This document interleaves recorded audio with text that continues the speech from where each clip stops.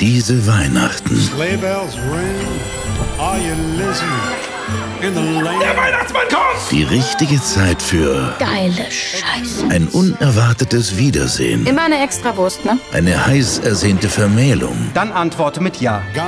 Eine zweite Chance. Ich habe gerade Boris zur Schule gebracht. Herzlichen Glückwunsch. Eine schöne Bescherung. Karl hat schon wieder Kaka. Und einen besinnlichen Abend. Sie können natürlich auch Pay-TV gucken, aber vielleicht keine Pornos, weil der Weihnachtsmann und Pornos finden die Leute nicht so gut. Wir haben unser Problem, ganz sicher. Aber lasst uns dran arbeiten. Die Bank drängt inzwischen auf die Zwangsvollstreckung. Ich brauche nur noch drei Tage. Wenn man einmal das Original gut fand, dann kommt halt nichts Besseres mehr nach.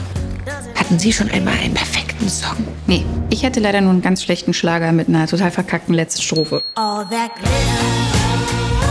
Wie heißt sie denn? Viktor.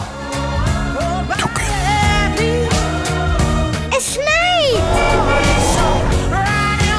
Du weißt, dass du mir alles sagen kannst, oder? Ich will einen Schokotoast. Ich will ein Haus auf den Bermudas. Wie alt bist du denn? 18. Oh mein Gott. Oh, mir wird schlecht. Das ist der Weihnachtsmann. Bleibst du ein bisschen hier? Ja, ein Bier oder so. Fucking Santa!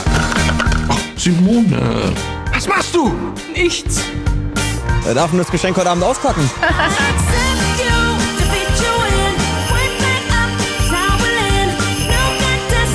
Das ist der Wahnsinn. Hauptsache, wir haben uns.